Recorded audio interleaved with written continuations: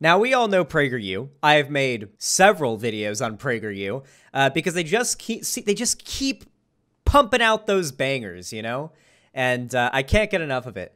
Now, something unique about PragerU that is actually not very unique at all and is consistent among basically every single right-wing demagoguery propaganda channel on YouTube is that they lie.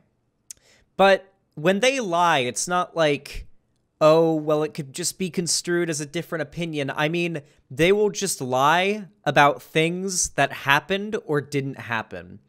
Uh, we've we've gone over we've gone over so many PragerU videos, and the most the hardest part of of covering a PragerU video is just looking into the scenario they bring up and finding out what actually happened because PragerU always lies about it. So I don't know what's going to be happening here with this video. It's called What Do We Do About the Homeless?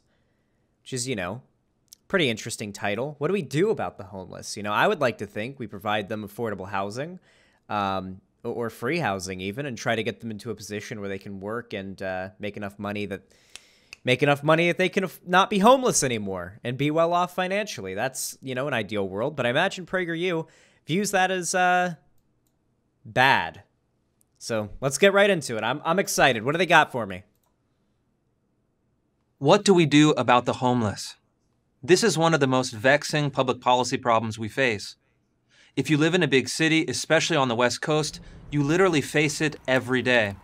And ah, I already see where they're going with this one. All right, so for those of you guys that aren't super in the know and super with it with conservative uh, dog whistles, they're basically trying to paint the very progressive West Coast, because, um, you know, California, Oregon, and Washington State, very progressive, also packed with large cities. What's California have? San Diego, LA, uh, San Francisco.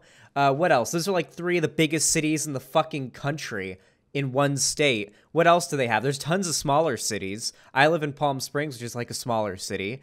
Um, Sacramento. Yeah, you have to realize though, LA is fucking massive because it's like other cities that don't count as LA connect to LA and spread out over like hundreds of miles. It's insanely massive. Uh, in Oregon, what do you have? Portland is the first thing that comes to mind. What else do you have in uh, in Oregon? What other what other big cities do you have in in uh, Oregon? Oh yeah, San Bernardino is in California. Vallejo. I oh, listen. I don't know anything about Oregon. Obviously, you have Seattle. So, the West Coast is chock full of big cities. And you know what big cities tend to have? more educated people in their populace, and they tend to be more like ethnically diverse. As you can imagine, you've got a lot of people living in these cities, and because of that, they tend to be more progressive. But something you have to realize is when you've got a lot of people living in a place, you're going to have a lot of homeless people there, just due to the natural fact that you've got so many people crammed into one area that is like a city. However, I feel like PragerU is about to try to claim that the homelessness problems in these large cities are caused by Democrat leadership uh, because Democrats tend to be in charge of large cities because large cities tend to be better educated and better educated people typically vote uh, Democrat. So let's see. On the West Coast, you literally face it every day. And every day it seems to get worse. Why? Let's start Capitalism? with a couple facts. First, the word itself is misleading. Homelessness is not primarily a housing problem, it's a human problem. The primary drivers of homelessness are drug addiction and mental illness. Untrue. Whew! Already a blatant lie. So, one of the largest causes for homelessness is drug addiction. Let's go ahead and look into that. Here we have nationalhomeless.org fact sheet on addiction. Let's go ahead and take a look at this. A common stereotype of the homeless population is that they are all alcoholics or drug abusers. The truth is that a high percentage of homeless people do struggle with substance abuse, but addiction should be viewed as illnesses and require a great deal of treatment, counseling, and support to overcome. Substance abuse is both a cause and a result of homelessness, often arising after people lose their housing. This is 100% true. The idea that, like, uh, homeless people are, are homeless because they're drug addicts or whatever is is just overwhelmingly statistically not the case. Most of the time, it's you end up becoming homeless, then you turn to drugs because what the fuck else is there to do?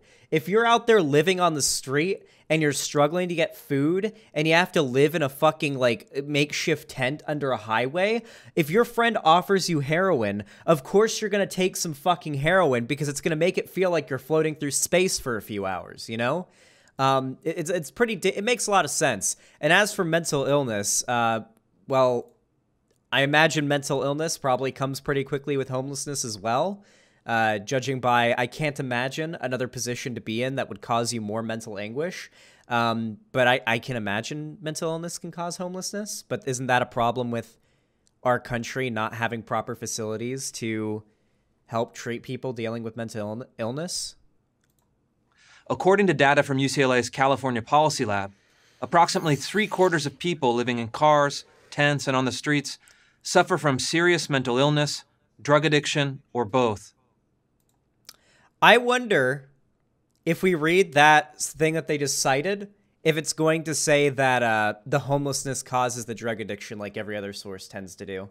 I wonder if that'll be the case, or they're just going to leave that out because they want to suggest that uh, people are getting addicted to drugs and it's making them homeless, so it's their own fault.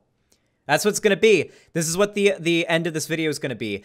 People doing drugs end up homeless. It's their fault. They should have made the personal choice not to do drugs. That's what the video is going to be about. Second, despite these conditions, the homeless actually make rational decisions about where they want to live. Not surprisingly, they move to the most permissive environment they can find. Yeah, no Make shit. your city attractive for the homeless and they'll beat a path to your doorway. The yeah, Venice yeah. Boulevard under. Yeah, do, do you want to be homeless living in bumfuck nowhere? Or do you want to be homeless living in the middle of a large city where there's a lot of people around that you can probably beg for change from, or at the very least, maybe find like a, a shelter or something to, to, to help you out? No city is attractive if you're homeless. Being homeless sucks. I mean, if you're homeless, then it's like your best option, usually. Pass on the border of Los Angeles and Culver City brings home this point. It's one of thousands of concrete structures in Los Angeles County, but there's a curious detail. The Los Angeles side is full of tents, and the Culver City side is empty. Why? Because the two Probably cities have different public policies. Wait, I'm really curious what PragerU is going to try to do with this one. Are they actually going to try to suggest that California or LA was in the wrong because they allowed homeless people to set up tent cities. Los Angeles has affected. By the way, do you know where homeless people are if they don't if they're not allowed to build tent cities in areas like underneath overpasses and whatnot? Because if you're gonna have homeless people in your area, you for well for starters, you don't want them to be homeless at all. You want to give them housing um, and give them the opportunity to get back on their feet, ideally, um, you know, rehab and what have you.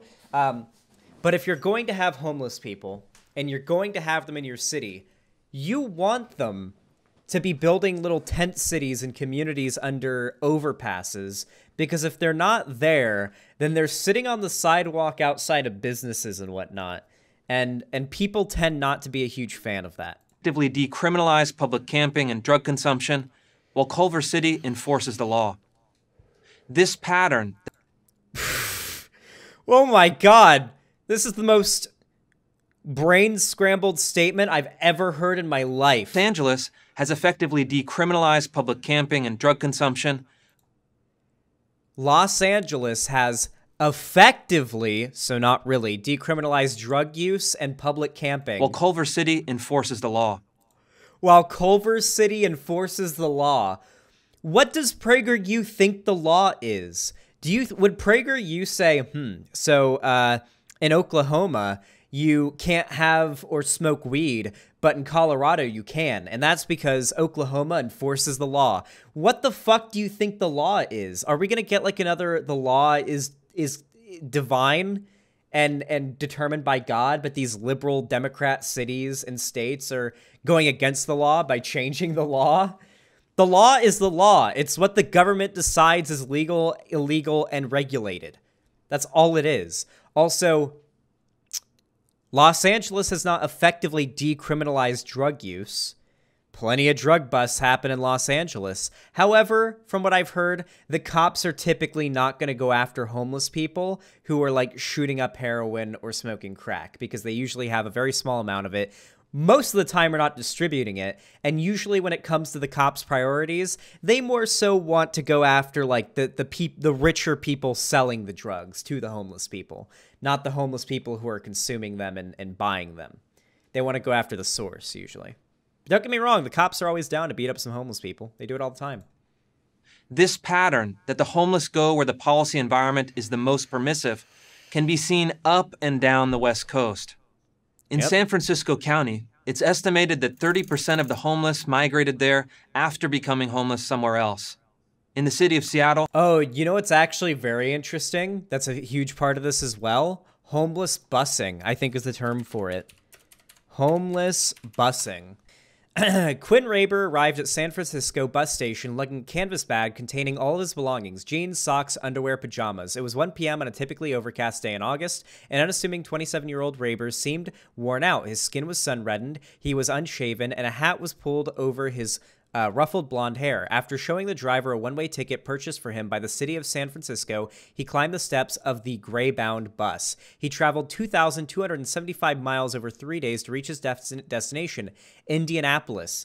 These cities, a lot of these cities have bus, uh, like busing systems to get homeless people out of their town to other cities because they'd rather spend money on moving the problem away rather than fixing the problem, which is just giving homeless people the opportunity to get back up on their feet. That number is 51%.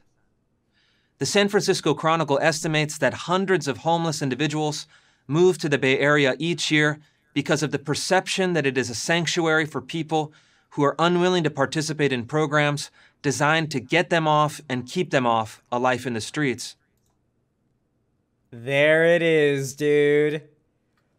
There it is, my dudes. When do I miss? Can I please miss just once? Can I please miss just once? Do you listen? If there's any if there's any PragerU fans, any PragerU viewers watching right now, I want you to know I have not seen this video before. I don't watch any of the videos that I cover on stream before I cover them on stream. This is my blind, 100% fresh faced, no like hints, no spoilers reaction to this video. And I just fucking 100% predicted all of their talking points. Do you think maybe that lends some credence to my argument? If you're a PragerU like conservative viewer and you watch this video, please maybe recognize that I predicted the argument that your demagogue that you enjoy was about to make and maybe consider, hey, this guy knows he's talking about. I'm going to look into this topic a bit more and not just watch the PragerU video and run off with it and that'd be okay. No more, not going to do any research myself. I watched the PragerU video. God, for God's sakes, be a little critical of the content you consume. At first glance, this would seem to make no sense. Why would an individual with no shelter or stable source of income move to one of the most expensive cities in the country? But in the world of the homeless, it makes perfect sense. That's because they operate under a different set of incentives than the average citizen.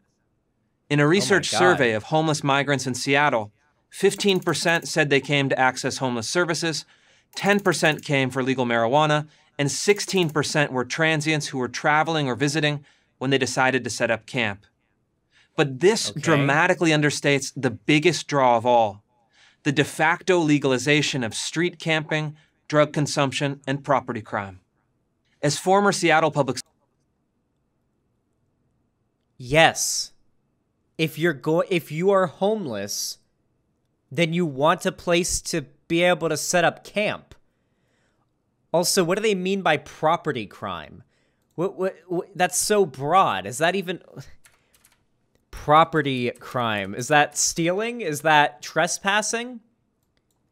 Property crime is a category of crime usually involving private property that includes, among other crimes, burglary, larceny, theft, motor vehicle theft, arson, shoplifting, and vandalism.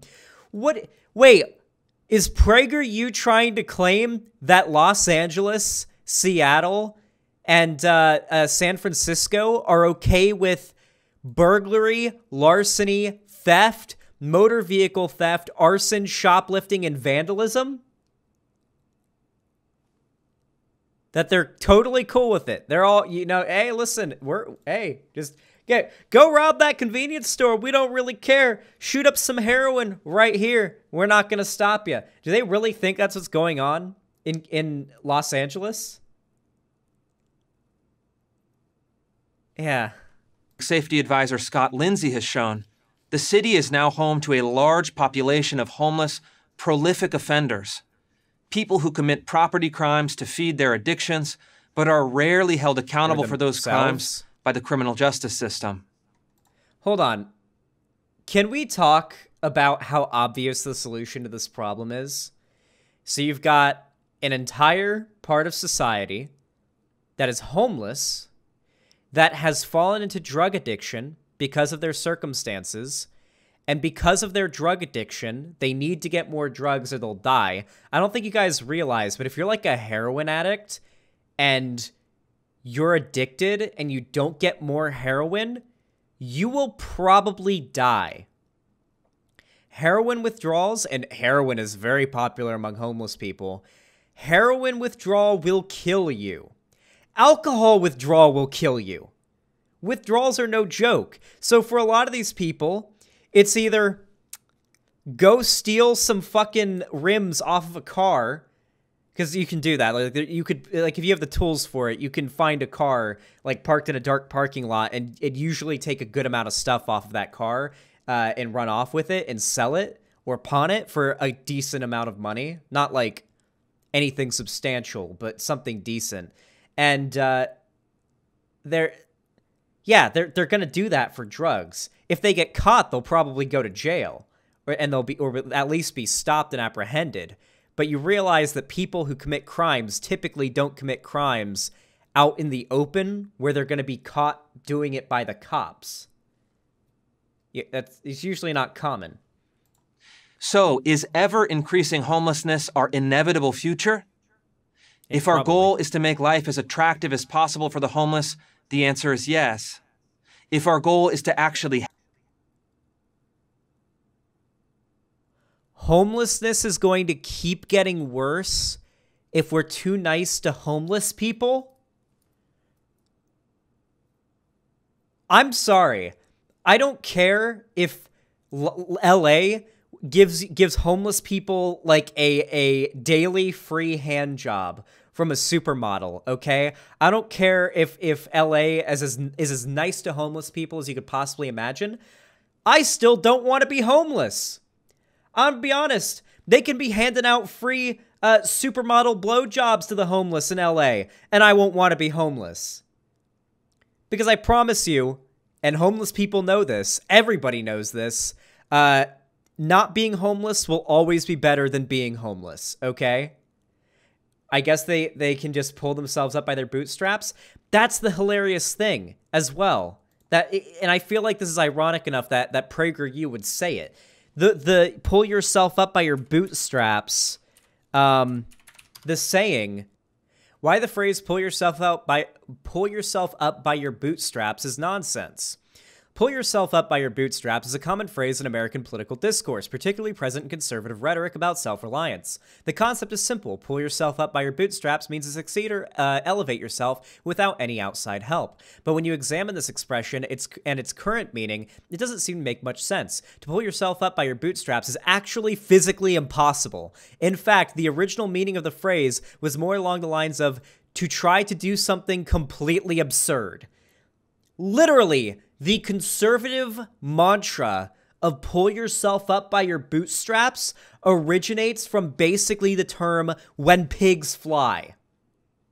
It is the not only is the the practical idea of doing this pretty much impossible, but like like what they mean when they say pull yourself up by your bootstraps, it's practically impossible for a lot of people. Not only that, but the saying that the mantra they repeat comes from is physically impossible and used to mean to do something absurd or impossible.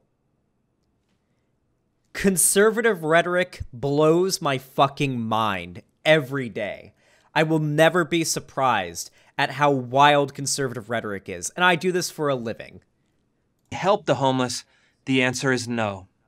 Houston Mayor Sylvester Turner is a Democrat, but his approach to homelessness is a world apart from his counterparts in Los Angeles, San Francisco, and Seattle. Okay, it is simply not acceptable for people to live on the streets. It is not good for them, and it is not good for the city, Turner has said. Okay. Houston's policy is a perfect example of what Turner calls a tough love approach. The city has built housing for the chronically homeless, formed okay. a coalition of nonprofit partners, I like what uh, this city has done. Actually, I think one of the things that they did was actually something that I suggested one time, like on stream. Um, so I think it's Houston, right? They're talking about Houston, Dallas. Oh yeah, yeah, Dallas. No, no, okay, maybe this is a different city, but I know in Dallas, Texas, what they did is they have a huge trash problem. Like people in Dallas, Texas litter like a motherfucker. There is so much garbage on the streets. It is wild. And so um what they ended up doing was they started giving homeless people like pretty well paying jobs and the equipment to just go around and clean up the city. Like they would go out and they would collect trash and they'd get paid for it. It's a job you don't need any experience for. They literally just give you a stick and a few bags, like a little sharp stick. You pick up the little trash, you go boop, or a little a little claw, you go boop, boop, and and some trash bags, and you turn it in, and and I and you, you get paid, right?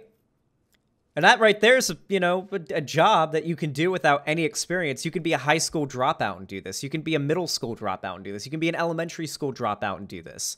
Um, yeah, and it's useful for cleaning up the city. It generally makes the city better. This is this is a, a practice I think needs to be adopted across like every big city in America. If I'm being completely honest, passing obvious lying as common sense is is typically part of conservative propaganda. Of course, yeah and lobbied the state government for more mental health and addiction services. Cool. At the same time, Turner has enforced a strict ban on public camping and promoted a citywide hmm. campaign to dis- Wait, you don't need to have public camping if you've built tons of housing. Wait, if you built tons of free housing for the homeless and you've got all the resources for them there, they don't need to build tent cities. That's like saying that that's like saying, yeah, so we we give everybody in our city a free car. But we banned riding horses. It's like, well, yeah, well, sure, you, you, people don't need to be riding horses around the city when everybody has a free car. Yeah, no no shit. Scourge citizens from giving money to panhandlers. The results are as instructive as they are stunning. Over the past eight years, Houston has reduced its homeless population by 54%, while it has skyrocketed in West Coast cities. How much do you want to bet part of that has to do with shipping homeless people that are in Houston out? Listen, Houston seems to have done a good thing, but for it to be that drastic of a drop, I imagine a large part of that has to be homeless people leaving and going to like LA or San Francisco because of the busing that they do.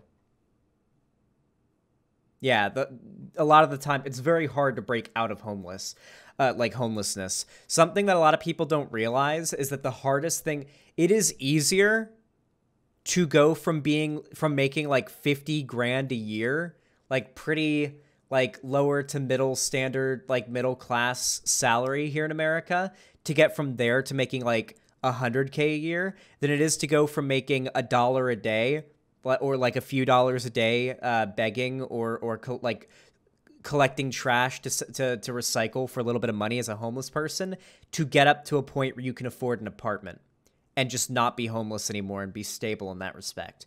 That is an unbelievably difficult barrier to break um, compared to going from making 50k a year to 100k a year per se. Like like it, it's way easier to go from like doing all right to being well off to doing terribly to being all right. That's a lot harder. Different policies, different results. Where a Seattle politician opposes hosing down feces covered sidewalks because hoses are racist,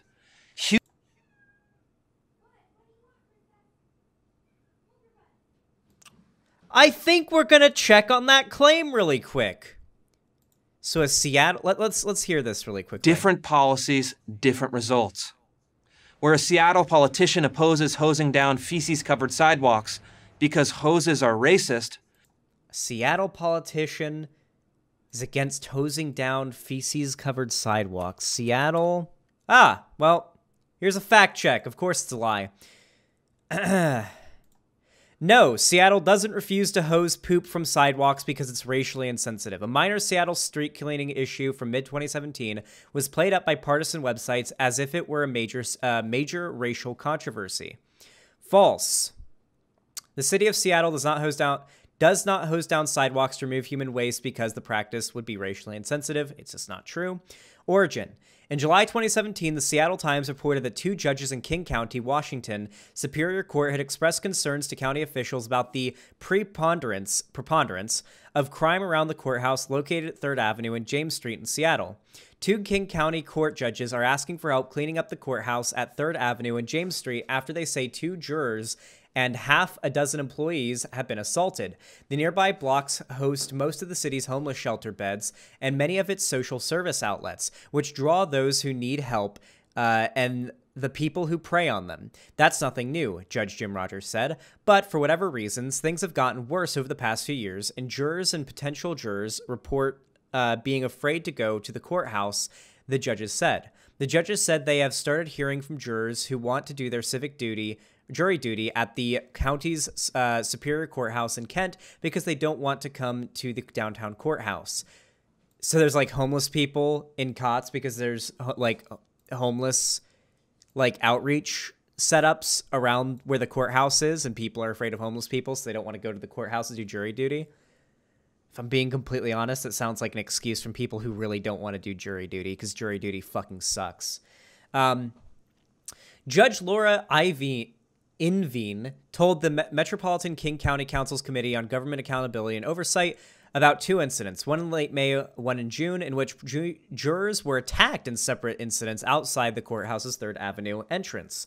On other occasions, Inveen said employees have been spat upon, slammed against a wall, or punched. Although cleaning and patrolling the area immediately surrounding the courthouse would not address some of the deep seated issues faced by denizens of the space, it would send a signal that somebody was paying attention, she said. She and Rogers asked the county to take immediate steps to clean up the courthouse with a daily power wash of the surrounding sidewalks, which reek of urine and excrement. They also asked that the county empty trash cans more frequently, remove bus stop benches, remove tents from adjoining park and increase the presence of law enforcement, not just to arrest people, but to deter crime. Another suggestion was closing the 3rd Avenue entrance and reopening the one on 4th. Although the Times article emphasized the need for reducing crime and the fear of crime around the courthouse is the primary problem, of which cleaning up human waste was just one element, many right leaning websites focused on the sanitation aspect, and one county's council members' uh, comments in particular. In the middle of the story, the Times quoted councilmember Larry Gossett as saying he didn't like the idea of power washing the sidewalks because it brought back images of use of hoses against civil rights activists. The single line was plucked from its context and used as fodder for articles bearing headlines such as Seattle councilman cleaning poop off sidewalks is racist. The Daily Caller and Seattle councilman uh, criticizes plan to hose excrement, excrement, fuck, I'm reading too much, off of sidewalks because it's racially insensitive to Blaze. And Turning Point USA reduced the whole issue to a single meme asserting that the city of Seattle leaves poop on their sidewalks because hosing it off is racially insensitive. Who would have thought conservative demagoguery uh, uh, is full of lies? These things like PragerU and Turning Point USA and The Blaze uh, and the Daily Wire just lie to their viewers. Oh my God. Who could have possibly thought that? Let's really go in on debunking this one. Of course, none of these right leaning sources made clear that Gossett didn't actually use the term racist or racially insensitive, nor did any of them report, as more moderate news outlets did, the full context of Gossett's remarks, which was that he felt merely cleaning up waste would essentially be treating a symptom rather than addressing the larger underlying problem. Tacoma radio station KNKX, for example, observed that There is, however, some pushback to some of the cleanup proposals. King County Councilman Larry Gossett says he's worried that power washing the and increased security will affect the vulnerable population on the street. Most of the emphasis seems to be on safety for the jurors and the co- courthouse staff, and not enough attention being put to underlying problems that give rise to some of the disruptive activities of the lumpen proletariat of the lumpen proletariat. Uh, okay, based out on the streets, Gossett said. Likewise, the Seattle Times also included that missing context. Some committee members expressed concern about addressing the symptoms of the area's problems without getting to the cause. Councilmember Larry Gossett said he didn't like the idea of power washing the sidewalks because it brought back images of use of hoses against civil rights activists. So here's what he actually said, and here's what PragerU tried to say. Also, um, if you think that this imagery that they use here um, isn't like a dog whistle, like where they have the the the street here, the sidewalk covered in poop um, if you think it's not a dog whistle, that uh, PragerU, which is notoriously racist and is literally like PragerU's literally made pro-slavery videos in the past, so I'm gonna go ahead and assume, just based on how much PragerU I've watched, I feel like I've probably watched more PragerU than the average conservative. Um, that they're they're dog whistling like black people and homeless people on the sidewalk. Like that's that's the the dog whistle here is at the very least supposed to be um, that it you know they're talking about poop but they're also referring to the homeless people on the sidewalk, you know, because we just read that they had cots and, and outreach centers that were hosted like on the sidewalk in front of these buildings. So yeah. Well, there you go. PragerU lying blatantly once again. Who would have fucking thought? For sidewalks because hoses are racist. Houston fights in the courts for the right to clean up encampments. We're also, they they still they still clean the area. They they literally just said that the Gossett guy literally just said yeah, no, we, like just cleaning up the sidewalk's not going to solve this problem. Like we, we need to do a more like deep down to the roots change, like to, to fix this problem. You're, you're literally just cleaning away the symptoms rather than dealing with the problem. California progressives push for more drug injection sites and have decriminalized thefts under $950. Wait. Oh my god. This is great they don't know or they're they're just lying to their audience about uh, safe injection sites. Let's look up safe injection sites and why they're a good thing. What's the evidence that supervised drug injection sites save lives? the story has been updated to reflect the fact that a study mentioned in the piece published by the International Journal of Drug Policy in August 2018 has since been retracted. As drug related deaths rise uh, to record numbers, at least a dozen U.S. cities are considering opening supervised injection sites where people can use illicit drugs with trained staff present ready to respond in case of an overdose. The future of such proposals in the U.S. is uncertain. A California bill that would greenlight a pilot injection site in San Francisco awaits the governor's signature, but a, a representative of the Justice Department vowed to crack down on any such site in a recent public statement. Critics say supervised injection sites encourage drug use and bring crime to surrounding communities. Proponents argue that they save lives and can help people in addiction reconnect. Help people in addiction? Ah, okay. Reconnect with society and get health services.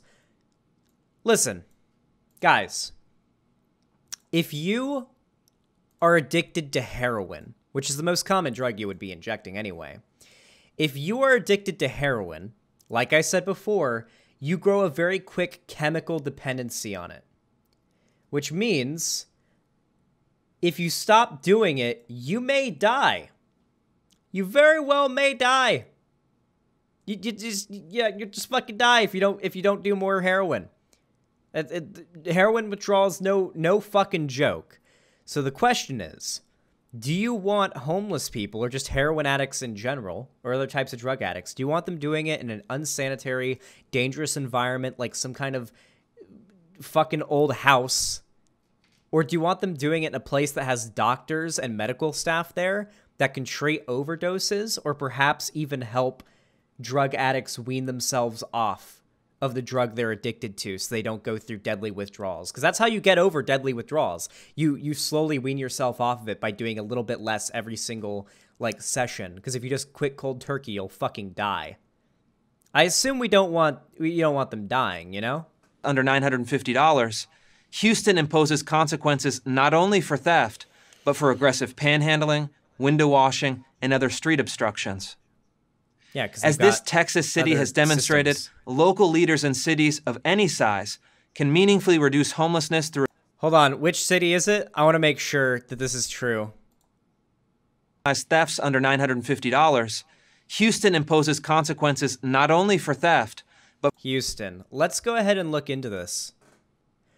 In the 2020 homeless uh, count and survey shows that we can expect to see about 3,974 people experiencing homelessness at any given moment in the Houston region. Oh, here's a website dedicated discussing homelessness in Houston. Let's check it out.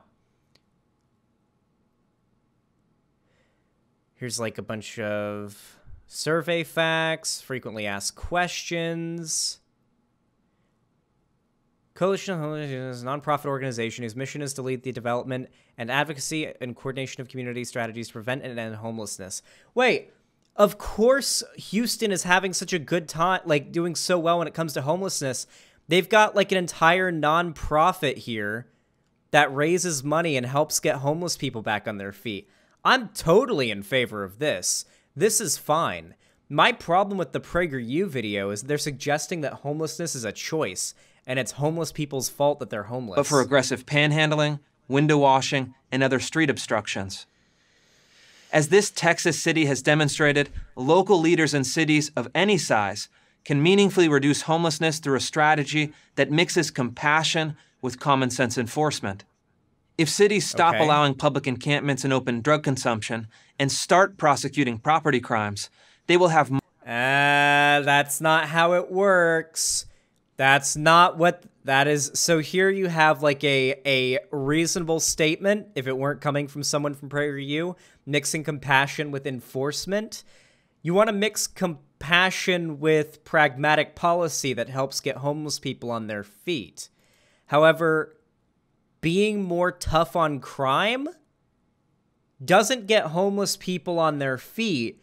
It puts them in jail or prison where they are further like where it's going to be harder for them to get a job. I'm sorry. Point me to a felon who says, "Yeah, no, I think my felony is uh is really helping me out in the job scene." How many of those homeless people do you want to bet are homeless because they were arrested for something and now have a a a fucking uh have have something on their record and they can't get a job? No one will hire them they will have much more success redirecting the homeless away from a life of self destruction and toward a life of hope through mental health treatment, drug rehab, and job training. That's what. But not for free, baby, because that would be socialism. We all want, isn't it? So why don't we do it? I'm Christopher Rufo, Senior Fellow at the Manhattan Institute for Prager University. Well, that was a hell of a video, huh? Pretty bizarre. Listen, let me give you guys my thoughts on homeless on homelessness and how we fix it, okay? Here's how you fix homelessness, okay? Make me the mayor of any city, all right? And this is what we do, all right? First thing you want to do, allocate money into building facilities that act as a, a station for homeless people to be both housed, fed, and to be given a job. And said job to start should probably be to help clean up the city. It is a very good entry level job. Um, it should be considered a government job, which usually looks pretty good on like a resume. If any of these homeless people want to stop doing this job and get a new job, um, like help cleaning up the city, that that's always a good thing. Uh, safe injection sites for people who are chemically dependent on drugs that will kill you if you stop doing them cold turkey so they can be weaned off of it mental health facilities uh, and of course they should be unionized.